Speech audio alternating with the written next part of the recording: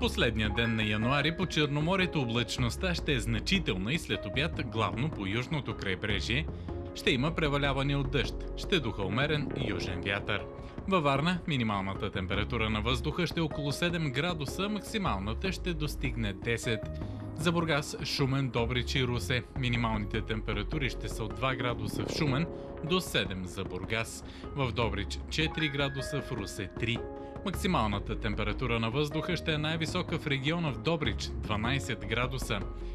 За Русе 9, в Бургас 10, а в Шумен 11 градуса. Вълнението на морето ще е 2-3 бала, температурата на морската вода е от 6 до 7 градуса.